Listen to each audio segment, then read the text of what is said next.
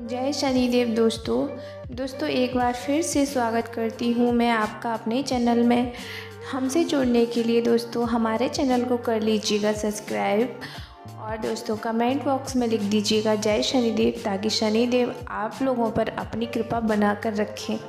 दोस्तों, पुराने ज़माने से एक परंपरा चली आ रही है कि यदि कौआ किसी के सर पे बैठ जाए तो अपने रिश्तेदार को झूठा पत्र लिखता है कि उसकी मृत्यु हो गई है। इसी प्रकार खबर सुनकर परिजन शोक भी करते हैं। उसी दिन दूसरा पत्र भी मिलता है कि वह खबर निराधार है।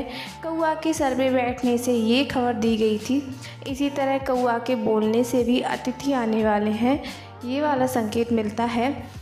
दोस्तों, आइए आज हम जानते हैं कि कौए के अंडे अंडे होते हैं, वो हमें किस प्रकार से शुभ और अशुभ संकेत देते हैं? दोस्तों, आज हम कौवा के अंडे किस तरह से हमारे जीवन में संकेत लेकर आते हैं, इसके बारे में बात करेंगे। दोस्तों कौए के अंडे की संख्या से भी हम शुभ और अशुभ की भविष्यवाणी के बारे में जानते हैं। ज्योतिष शास्त्र के अनुसार दोस्तों कौए के अंडों की संख्या से भविष्यवाणी की जा सकती है। दोस्तों, मादा कौआ एक ही अंडा दे तो इसे कारुड़ कहा जाता है। इससे मानते हैं कि अच्छी वर्षा और अच्छी पैदावार होगी। यह संकेत कौआ का, मादा कौआ का एक ही अंडा देना अच्छी वर्षा और अच्छी पैदावार का संकेत होता है। इससे प्रजा में प्रसन्नता बनी रहती है। दोस्तों, ज्योतिष शास्त्र के अनुसार यदि मादा कौआ दो अंडे दे तो इसे अग्नि कहा जाता है। ऐसी स्थिति में अल्प वर्षा होती है। खेतों में डाला गया बीज अंकुरित नहीं होता, प्रजा भी दुखी रहती है।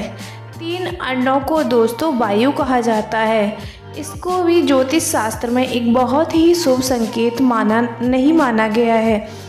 तरह के संकेत में फ़सल को पशु पक्षी नष्ट कर देते हैं। दोस्तों, क्या आप जानते हैं कि ज्योतिष शास्त्र में बताया गया है कौआ यदि चार अंडा दे, मादा कौआ यदि चार अंडे दे तो इसे इंद्र कहा जाता है।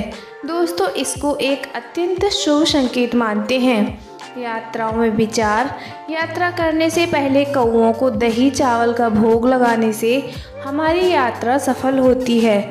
वहीं पर दोस्तों ये मानते हैं कि जब हम यात्रा के लिए जा रहे हैं और कौआ बाई तरफ़ से आकर इस तरह भोग ले तो यात्रा निर्विघ्न समाप्त होती है। दोस्तों, भोग लगाते समय यदि कौआ पीठ पीछे आए तो प्रवासी को लाभ होता है। दोस्तों, सूखा तिनका लेकर कौआ अगर हमें अपनी चोंच में दिखे।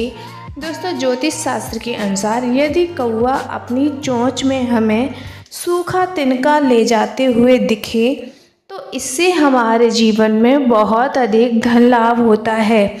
आशा करते हैं दोस्तों, आज का वीडियो आपको पसंद आया होगा और आप ज्योतिष शास्त्र के अनुसार दिए गए कौओं के अंडों से भविष्यवाणी से संतुष्ट किए गए हों, संतुष्ट हुए होंगे।